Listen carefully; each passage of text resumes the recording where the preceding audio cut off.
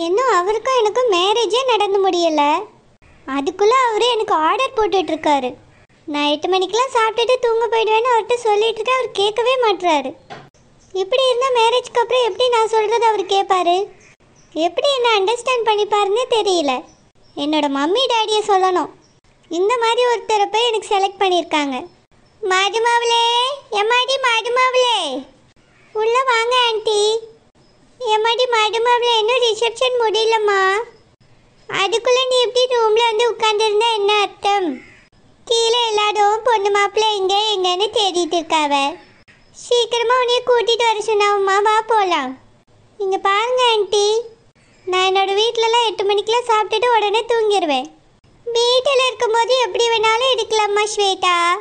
ஆனால் இன்னைக்கு உனக்கு ரிசப்ஷன் நாளைக்கு கல்யாணம்.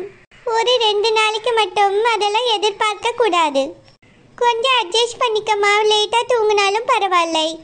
கீழே என்னோட மகன் மாணிக்க மட்டும் உட்கார்ந்துருக்கான் மரவியெல்லாம் பொண்ணு எங்க பொண்ணு எங்கன்னு கேட்டுட்டு இருக்காவம்மா. சீக்கிரமா கீழே வா. ஆன்ட்டி நான் சொல்கிறது உங்களுக்கு புரியலையா? எனக்கு தூக்கம் வருது ஆன்ட்டி நான் தூங்க போகிறேன் நேரத்துக்கு தூங்கலன்னா என்னோட ஹெல்த் ஸ்பாயில் ஆகிடும் புரிஞ்சுக்கோங்க ஆன்ட்டி ஒரு நாளே லேட்டாக தூங்கினா ஹெல்த் ஒன்றும் ஸ்பாயில் ஆயிடாது. எங்க பாடு மடுமவளே சீக்கிரமா கீழே வா. எல்லாரும் உனக்காக தான் அங்கே வெயிட் பண்ணிட்டு இருக்காவ. சம்மந்தி என்னாச்சு? என் பிள்ளைகிட்ட என்ன பேசிட்டு இருக்கிய? சம்மந்தி அங்கே ரிசப்ஷனே இன்னும் முடியலை. அதுக்குள்ள உங்க மக இங்க வந்து உட்காந்துட்டு நான் தூங்க போறேன்னு சொல்லிட்டு இருக்கா சம்மந்தி. இதெல்லாம் என்ன பழக்க வழக்கம்? உங்க மகளுக்கு இதெல்லாம் சொல்ல மாட்டியல சம்மந்தி? ஒரு நாளைக்கு கொஞ்சம் லேட்டாக தூங்கினா என்ன சம்மந்தி ஒரே நாள்லயே ஹெல்த்து ஸ்பாயில் ஆகிட போகுது. உங்கள் மகக்கிட்ட சொல்லி கீழே வர சொல்லுங்க. சம்மந்தியம் மோவா மொவ சின்ன வயசுலேருந்தே இந்த மாதிரி பழகிட்டா பார்த்துக்கிடுங்க. அவ ஆரோக்கியத்துக்கு தான் முக்கியத்துவம் கொடுப்பா. நீங்கள் எதுவும் தப்பாக நினச்சிக்கிடாதுங்க. நீங்கள் போங்கன்னா கூட்டிகிட்டு வரேன். சம்மந்தி ஆரோக்கியத்துக்கு முக்கியத்துவம் கொடுக்கறது நல்ல விஷயம்தான் ஆனால் வரவியா அதெல்லாம் புரிஞ்சுக்கிட மாட்டாவ சம்மந்தி. நாளைக்கு கல்யாணம் இன்னைக்கு ரிசப்ஷன் எல்லாத்தையும் செய்ய வேண்டிய முறைப்படி செய்யணும்ல. உங்கள் மகளை சீக்கிரமாக கூட்டிகிட்டு வந்து ஸ்டேஜில் நிற்க வைங்க. ஆ சரி சம்மந்தி நீங்கள் போங்கன்னு பாரு ஸ்வேதா எதுக்கு இப்படி பண்ணிகிட்ருக்கா நம்ம வீட்டில் இருந்த மாதிரி எல்லா இடத்துலையும் இருக்குன்னு நினைக்காத ஸ்வேதா. உனக்கு கல்யாணம் ஆக போகுது. நீ புருஷன் வீட்டுக்கு போக போகிற அங்கே இருக்க மாதிரி தான் நீ நடந்துக்கிடணும். அவ்வளோ பேச்சியில் கொஞ்சம் கேட்டு நடக்கக்கு பாரு.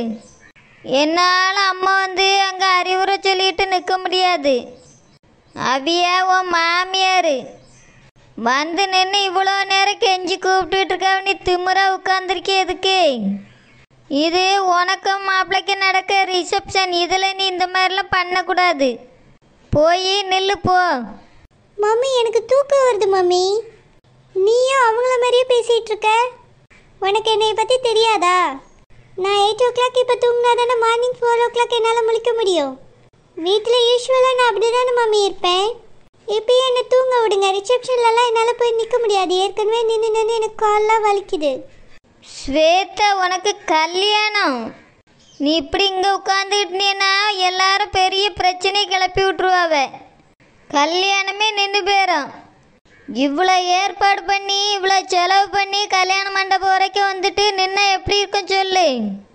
மம்மி எதுக்காக என்னை இப்படி டார்ச்சர் பண்ணுற எதுக்காக எனக்கு இந்த மாதிரி ஒரு மாப்பிள்ளை பார்த்த மம்மி அவரும் அப்படி தான் இருக்காரு அவங்க வீட்டில் உள்ளவங்களும் அப்படி தான் இருக்காங்க. எனக்கு சுத்தமாக யாரையுமே பிடிக்கவே இல்லை. எனக்கு நம்ம வீட்டில் நான் எப்படி இருந்தேனோ அதே மாதிரி இருக்கணும்னு தான் ஆசை. அந்த மாதிரி ஒரு மாப்பிள்ளையை பார்த்துருக்க வேண்டியதானே மம்மி? இங்கே பாரு ஸ்வேதா நீ சொல்லிய மாதிரி மாப்பிள்ளலாம் நம்ம தான் ரெடிமேடாக செய்ய வேண்டியிருக்கோம். நல்ல இடம் உனக்கு அமைஞ்சிருக்கு. நல்லபடியாக கல்யாணம் பண்ணி போயிட்டு சந்தோஷமாக வாழதுக்கு பாரு.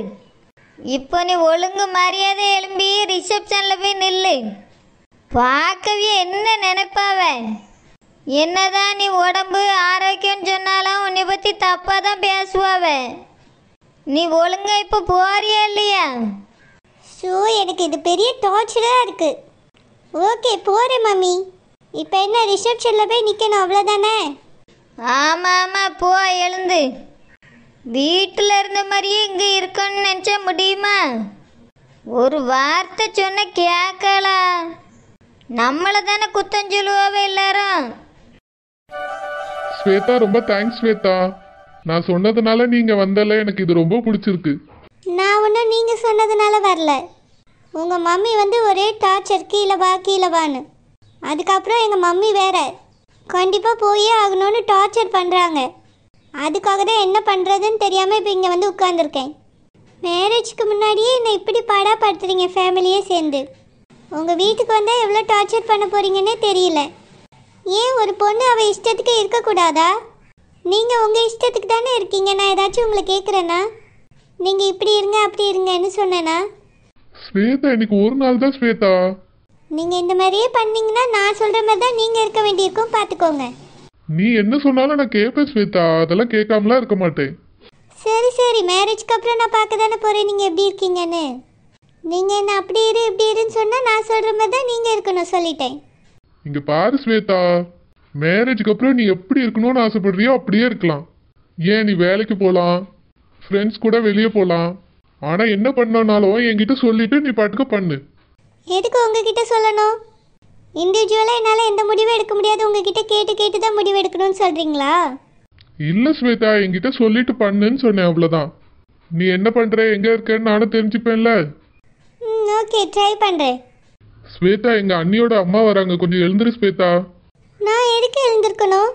நான் இப்போ ஸ்டேஜில் தானே உட்காந்துட்ருக்கேன் ஒரு ஒருத்தராக வர வர நான் எழுந்து எழுந்து நிற்கணுமா ஸ்வேதா அவங்க பெரியவங்க எழுந்துரு ஸ்வேதா. மரியாதைங்கிறது மனசில் இருந்தால் போதும். எனக்கு மனசில் மரியாதை இருக்குது எனக்கு சும்மா சும்மா எழுந்திருக்க முடியாது. எனக்கு கால் ரொம்ப வலிக்குது. ஸ்வேதா சொன்னா கேட்க மாட்டியா?